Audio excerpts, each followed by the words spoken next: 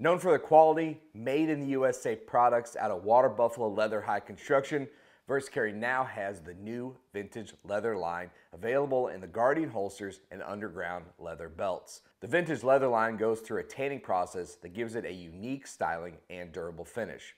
The Guardian holster is available in three different designs, including the Luna, Horizon, and Arc Angel.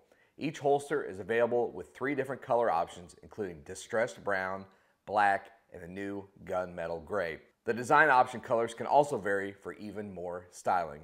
The Guardian holster is optics compatible, has a raised leather protective backing, has a forward cant for easy draws, and is available in right hand configurations in four different sizes. The underground carry belt is also available in the three different color options so it can be matched to your holster styling.